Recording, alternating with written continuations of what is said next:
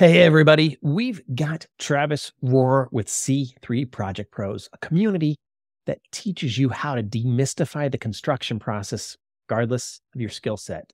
We dive into equity rentership and how this can break the poverty cycle. He shares with us his TMT, time, money, T method, and how it can return $40,000 to your project. Check it out.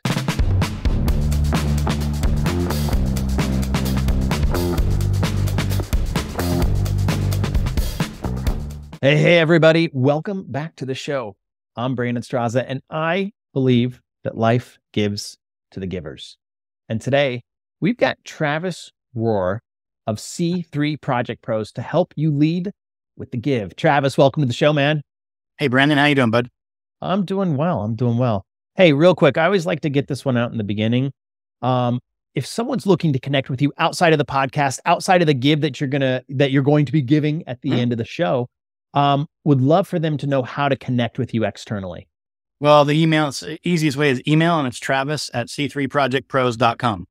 All right, there you go. If you want to reach out to Travis and what he's bringing to the table, definitely reach out to him there. And then remember at the end of the show, we're going to tease his give and or his gift and where you can find that inside of TSF. So, all right, man, you know, our ability to learn or our availability of information has really changed over the last two to three years. Mm-hmm. In our younger years, it was textbooks and teachers, friends and family, beyond the Googles, the YouTubes, and you know, the other search engines. How has your learning changed from your early years versus today? Oh, well, that's great. Well, I, and funny thing is, I'll go back to learning. Post high school, I immediately went into the military, and then I and there you're beat with a stick to learn. Um, not literally, but you know, fig, you know, anyway, you, you have a different learning path in there because it's all textbook manuals. They're they're technical training manual. And if you can believe it, I worked on the nuclear missiles and the and, in the uh, ICBMs. That's that was my job in there. I did um, the support systems for the ICBMs. That's what I that's what my job was. I don't think you ever knew that, obviously by the look on your face. I, I've I've got to sit there and say this. Like Travis and I have a previous relationship. Uh, he, he's partners with me on a couple different things, but like I had zero clue that like you know you had ICBM. Like I haven't heard that word in quite some time. Yeah. So I my, one of my scary stories early on was um, I was down on the bottom of this of the silo actually doing a test on a, on a pump that was in the bottom. I'm down there and they have to do these cone tests. So picture you're at the bottom of a silo with a missile above your head. And next thing you know, you start hearing this mechanical thing. You look up and the cones are literally moving. And you're just like, it's going to be quick. you know, it's a little spooky. We got our work done and we got the hell out of there. Anyway, that was that. That was that funky day. But, uh, gotcha. Uh, I mean, like, I don't even know where to go with that. And I'm trying to sit here. Remember, like we we went from learning to ICBMs and like where you were yeah. So, the, so, so our learning course, started in a, so our learning has started from a missile silo.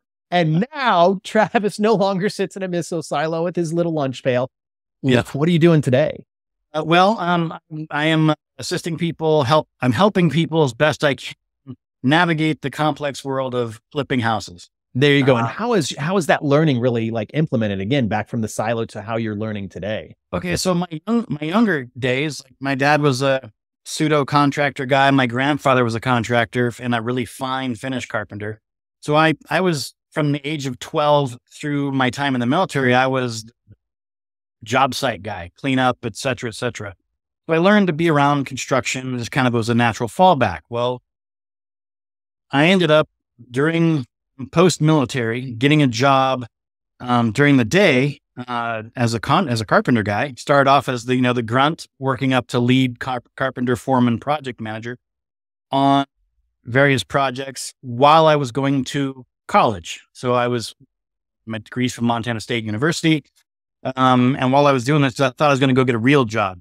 So my my last year of college, I ended, uh, I ended up getting my own contract contracting license. I ended up landing some custom homes Next thing you know, I've got employees. Next thing you know, I got 10 employees, all the way up to, I think at my peak, I had 65 employees doing all kinds of work. And it was a big job, big task. And there's a complexity to it. So to get back to your question of how do I help people during all that time and processes, and even taking, you know, catapulting the military thing. Everything has a system, everything has a process. And uh, I believe in a system and a process and, and, and efficiencies. So that's how we worked our construction crews and that's how they worked. And, and uh, we were able to produce good projects. Well, out of that came what I'll call my system, which is, you know, streamlining efforts, proper scheduling, proper project management, proper coordination. And out of that, I just wrote a, I wrote a program and this is how I do it. And it translates perfectly to house flips. I actually have a whole program written for how to generate your own house, but that just, there's a lot more to it. And it's, people don't want that undertaking. It's big. Well, house flipping has turned into a really big, big industry. It's several billion dollars in the year in the, in the world annually, in our, in our country annually. And what I've seen out there, which is where I fit in, is I see people out there, and you got the two big names, you know, Ryan and Jerry, but they teach people how to find them and sell them. The project management piece in the middle is where you're going to, I don't care if you, I don't care if you bought the best property on the planet. If you don't know how to do that middle section, you're going to lose money. So let's capitalize on that. That's where my mindset came in is like, you don't have to be an experienced craftsperson. I happen to be a skilled carpenter. You don't have to be that to do what I'm teaching. All you got to do is follow this plan, follow the project, build a project plan and follow it. Very so simple. I can tell you, I, I could have used this and I'm being sincere in this. We redid our house uh, six years ago or so. And we had the contractor and then we had the main person, you know, that was here. And then we had me. And I was the board, I, I was the person between my wife our general contractor and the main guys that were here. And I was the person that was here seven days a week, not the GC. Mm-hmm. And it was three and a half months to gut a house. Um, I did it to say the least. Like if you saw like what I was involved with, you'd be like, ah, you know, I, I'm, you know, it's it's it's not unimpressive to say the least. But I can tell you, it probably would have gone a lot smoother, less arguments, easier communication, and how to go, you know, how to actually go through those pieces right there but needless to say, we came out alive. We don't talk to some of the people that were involved with the project anymore. Let's leave it with that. But uh, that's interesting. I never knew some of that stuff. You know, well, here's a and, here's a funny here's a funny piece. I got a family member that's stubborn as hell, and she likes to fancy herself as being her own project manager, and she's done lots of renovations on their place. And I talk about the process, and I'm like, anytime you need help, give me a call. And she refuses to ask me for help, whatever for whatever reason. So finally, I talking to her one day and she's going off about this one problem she's having and going off about how much they quoted her. And I said, Linda, I know, didn't mean to say her name. I'm like, I know you don't want. Not Linda. Yeah. Yeah. I know you don't want my help. You've said that repeatedly. I'm just going to send you my document, one of the ones that I've actually included in this. I want you to read it and then ask me one question off the document. I'm going to help you. She, she called me two days later. She goes, Thank you very much. I followed that thing. I took your advice and she saved herself like 40,000 bucks with one phone call. Yeah. And I'm like, there yeah. you go. Job is done here. That is it. How, how has her learning changed? She went to her resources and I'm, right. you know, enough said right there. You know what I mean? As an entrepreneur, it's easy for us to lose our footing, mm-hmm. you know, uh, lose our confidence and second guess decisions that we're making along the way. How have you developed a winning mindset and what are some of the techniques or practices that you use to overcome self-doubt or limiting beliefs along the way on the project? Well, uh, on on which project? Any project. I mean, like just what you do. Well, I got to tell you, that's you know, there's the the beauty lies in like I'll use a statement you say: you never step in the same river twice. I learned that not long ago from a from a trusted friend, and oh, it'd be you. And it's interesting when you hear information for the first time. It's like, oh, it might have an impact. And you hear it a second time. It might take somebody, you know, first time they get the oh wow moment, the aha, the light bulb, whatever you want to call it, you know, that nugget of gold. And it, so the learning never changes. And scarcity mindset is something that I was guilty of. I didn't want to give up too information, too much information early. Didn't want to be overly helpful. Please come to me for the resource. It's like, you know, here's the resources. Call me when you need a hand. And because at the end of the day, you can have, I mean, I'm surrounded by books here in my office now. Do I read them all? No, but they're there. You know, so it depends on it's hard to land my plane on, on your question specifically because my learning path has changed so much and it's more now experiential with people that I surround myself with. Um, people like yourself and, and the Success Finder community, and just how giving and helpful and, you know, honestly wonderful that lack of scarcity mindset. The abundance mindset is, is, uh, I think key to the success of anybody. I mean, get rid of that blockade of your own head. Yeah, I mean, I think you you've lived it, you've seen it, and all from like a cab ride, you know. Oh yeah. There's nothing to hide. Like yeah, the resources that you've seen and how we lead with the give is the way that you lead with the give. It's just like, here, have it. The thing is, here's the differentiator. And this is for anyone that's listening right now. So many people don't do anything with it. They've mm-hmm. been given the resources, they've been gifted the resources, the book is open. Here you go, and we'll help you with it. Are you going to take the idea off the shelf and actually implement it? Action begets action. Yeah. And well, that's would, the first step. Well, and I would say even on in my young contractor days, and you know, whether your material takeoff is off or something, and I learned something very valuable. I my my building career started in Montana, and it was interesting. Our lumberyard that we went to was like Cheers. We'd have our morning coffee down there. You'd walk in and you give each other crap and it was communal.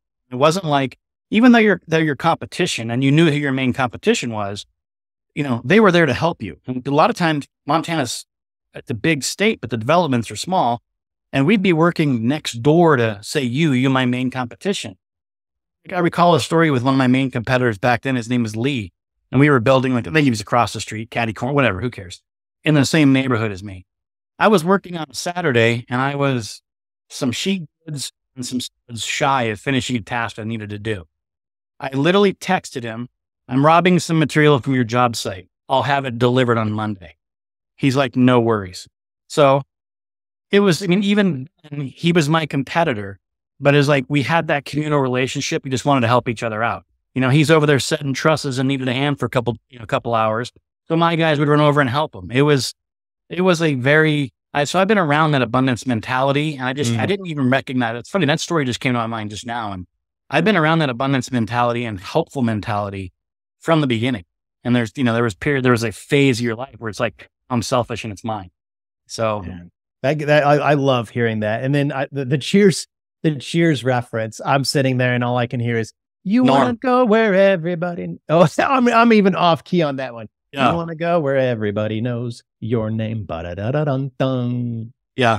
I have lots uh, of stories for that. We'll talk off. Yeah, we'll we'll save that one for the next, day, you know, for the after hours episode. You know. Yeah. And, and and with what you do, I gotta imagine remaining nimble and being able to adapt mm-hmm. quickly is is key to success.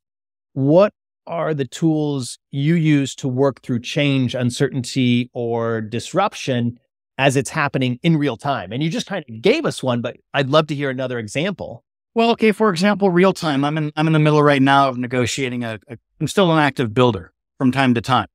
I from time to time. And I'm in the I'm in the process right now of like I'm leaving next week to go to Hawaii for a few days to set up a project for a friend of mine. And then I come back and I'm also negotiating a dental clinic. Another it's the same people I've worked for before, but I'm um, I have a I have an expertise in building dental clinics. It just kind of happened, and I've done three of them. And this guy wants to expand. He's previous client, so to, to land my plane on that is okay. Today's world has changed post pandemic with material supplies, availability, procurement is my biggest challenge. And I hear time and time again from people that are like, well, I can't do this because now it's that, meaning lead times or whatever. And so my biggest obstacle is you've got to prepare yourself for what the new knowns are, not rely on old information. I mean, you're refreshing your book, right? You're tearing out that page, inserting a new one. So, for example, I know that windows that I used to be able to procure in six weeks sometimes are now 24 weeks. Mm. Depending on your build, depending on your projects, six to 24 weeks is a big, big deal, especially when you're plugging a hole in a building.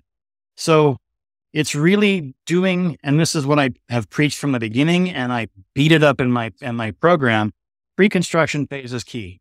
You build the project on paper, start to finish, before you pound, before you put the shovel in the ground. It, it's imperative. you better know every detail, every aspect of your project. I don't care what it is.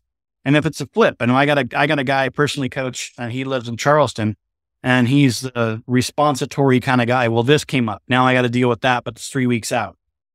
I have shown him on two two flips that he's done where he was taking a flip from six to nine months to do it, and now he's doing it in two and a half to three months.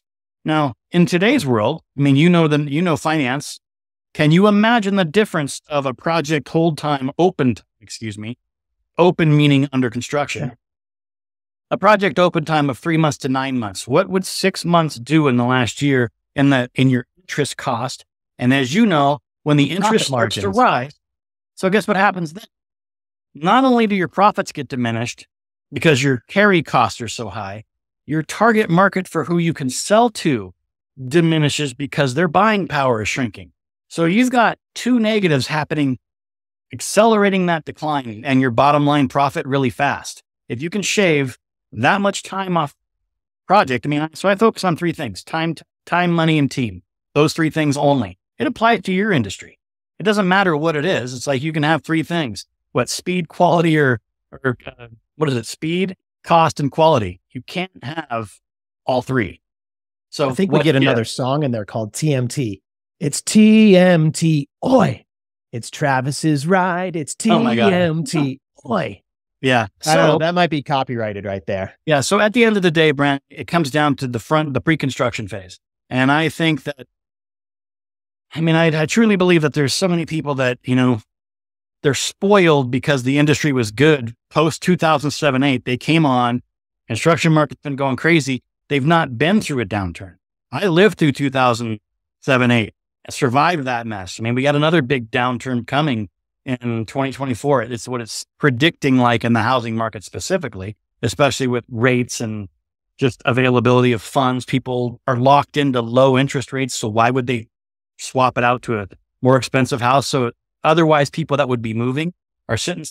Yeah. So at the end of the day, it's like, I think the flip market is still really strong and good because there's going to be deals to be had, but you need to be able to maximize your, need to be able to maximize your project value by collapsing time, by taking that extra month. I don't care if you, it might seem ludicrous, but don't start the juice running on your construction loan until you're ready, until you know everything is ready to go. Because the minute you have a delay, your carry costs will just eat you up. So that's, yeah. that's why I, uh, you'll get squeezed out. Yeah. Have the thing. Yeah. I mean, and you know, when, when someone's looking to invest in their future, so then what you're talking about is literally investing in their future. Mm-hmm. They usually have a better than vague idea of what they're going to get. You know, wh- what where they're they're able to have expectations on the people that they're going to surround themselves. So in your case, contractors or different individuals from there. What should people expect when they enter your reality and work with you or your program that you've got? Um, a time tested, proven system that works, and and I say that with confidence. Um, I the, your audience probably doesn't know, but I used to my last five years and I was really, really active in construction, um, I went crazy and got licenses in 10 states. I worked all over, including Hawaii. So it was, you know, primarily Western region, Montana, Idaho, Oregon, Washington, California, New Mexico, Utah, Arizona, Hawaii, and did work in all these places. So my point to bringing up that location isn't because I was cool. It was because we reached for a bigger vision of what we were going to be. And in doing so, we had to rely on teams that we were unfamiliar with. So mm-hmm. we had to learn how to vet, first of all, pick, explain what our, what their job was to be, um, vet their scope, vet them as a person. And as I say in the programs, I say everybody, I don't care if the referral came from your mother, you vet them. And if it feels funny, get rid of them. It's because they have to buy, jive with you, not your mother right? Mm. So I, I, teach you how to build teams. I teach you how to find supplies, teach you how to source product, teach you how to schedule, teach you how to budget. And then the worst person, once you've done all that, your, your biggest enemy is yourself because you might, you might be into a flip. Let's just, let's get, let's get back to that for a second. Let's say you bought a gold mine flip. I mean, a property that's not too trashed or whatever in a neighborhood that there's a big upside to it. So let's just say the neighborhood value is 350 average and you were able to buy this property for 150. I do explain a buy box in my program on what the rules would be and here's how you determine. So let's say you've got this massive upside. Now let's say you've got a plan, you've got a schedule, you got a budget, you got your products, you've got your team, you're ready to go, and you get into it and you're like, wow, this would be cool if we just did these few extra things. What do they call them? Not, not line item. What do they call that when you add on change uh, orders? Change orders. There we go. Uh, and there's a. And I'm I'm going to dispel that myth immediately. People like, oh, contractors love change orders. I'm going to be the first one to say crap on that. We do not. I do not. Simply because it disrupts my schedule and my flow for all my other projects. Because let's just say you have other projects that are next to it. Well, if I'm delaying this one because I've added a scope of work, now I'm delayed. It just it's a snowball. You kick the can down. It just it's terrible. So, um, of course, there's changes that happen if you open up a wall and there's complete rot, and it's like, wow, unforeseen conditions happen. They do. We're not we're not Superman. We don't have X-ray vision, but you you you can predict a lot of that. As a matter of fact, I've done some video walkthrough with people. My my guy in South Carolina, I'll still do video walkthroughs with him. He's like, "What do you think about this, this, and this?" Well, based on what I've seen, that could be a possibility. You just don't know, right? So you can do a lot of predictive assumptions when it comes to that. So I think I answered your question. No, absolutely. I mean, I'm I'm learning so much from the aspect of what I didn't know I didn't know. And I might know a little more than the average bear just because I've I've lived it, I've done it, but I can see all the pitfalls that come along with it. I think our our biggest one was a, a forty thousand boo boo when it come to came to some structural stuff that we hadn't planned for because we didn't know. But right. it is what it is. You know, you know. There's always new ideas brewing in times of prosperity. Like yes. money's flowing, everyone's just like they're they're digging life. But I believe that that creativity and ingenuity come out of times when we feel the squeeze. What are you working on right now that's going to take place over the next 12 months that excites you? Well, um, as you know, I'm helping Laura with her thing. but what, what's really exciting me is um, I have two projects specifically that I'm working on. I'm trying to I'm trying to uh, gather some interest. And this is outside of house flipping. Um, so one, continuing my house flipping thing, and two, I have an active project that we're getting ready to kickstart with this dental renovation. It's a three month project for me. And I just like working for the guys. It's a pediatric clinic mm. and it's a lot of fun. It looks like a rainforest cafe when I'm done. I remember the first time I worked on one, I thought it was kind of silly because I came from a historical renovation and a high end construction. So everything was fine details, quality product to go to something where I'm screwing fake lizards and geckos to the wall.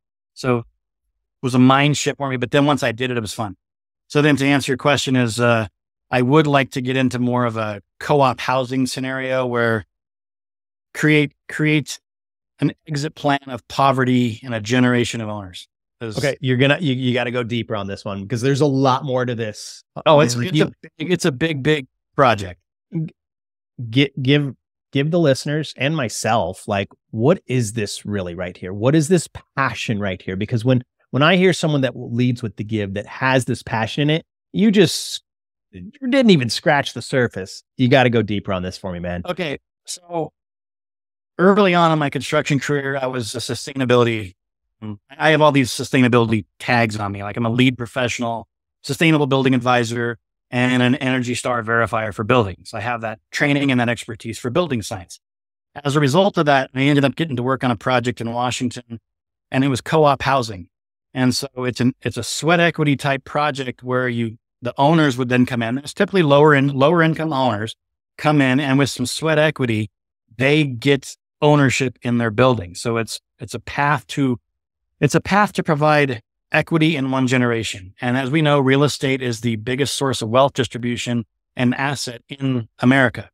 Well, if we can change that model up, not just single family homes, but because we do multifamily renovation and investing, we could find because, and especially right now over the next four years, because of the flood of money that's on the market at high interest rates, this floating rate loans, there's properties left and right being taken back by the bank that they're going to be available at a big discount. Now, this is a much bigger type, type of project, right? So we're talking, we need capital investors and people that have a social mind and people that are patient, meaning slower return and lower rates.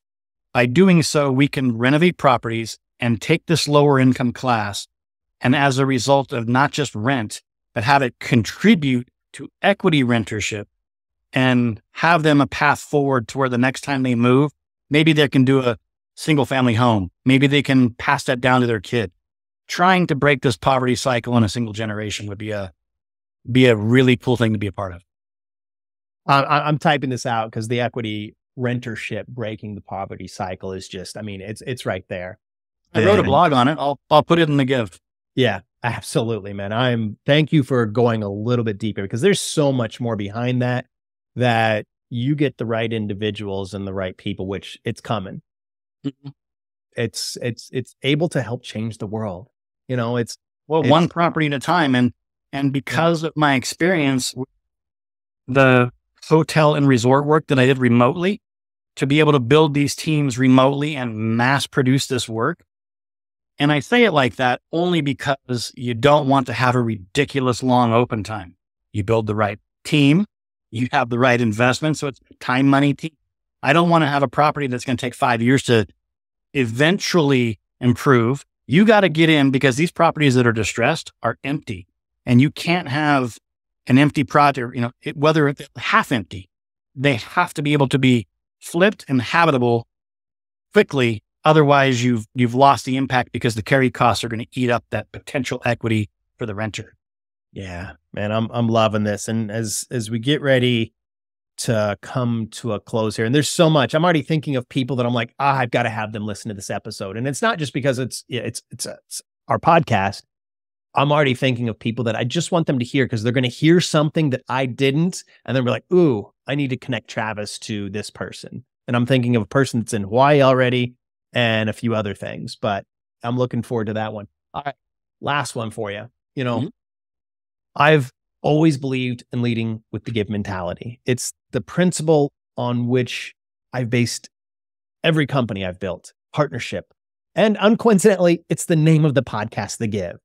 We ask every guest on the podcast to share a little sneak peek of what their give will be for our listeners placed over at TSF. So, Travis, what have you brought today to give to the listeners? So today, um, I brought, I put the write up the description of how I build a team. And that's what I did in all these remote locations. And it was never failed. That's exact. I wrote it, wrote out exactly step by step who I start with, how I end it, how I build my team. So that's in there. And then I've included the entire PDF catalog of checklists for every phase of your fist, uh, of your flip, including product checklists. And if somebody has any questions feel free to reach out at Travis at C3projectpros.com. And I'm happy to answer questions. I'm happy to get you on the community. I have a free AMA section in there, which is Ask Me Anything.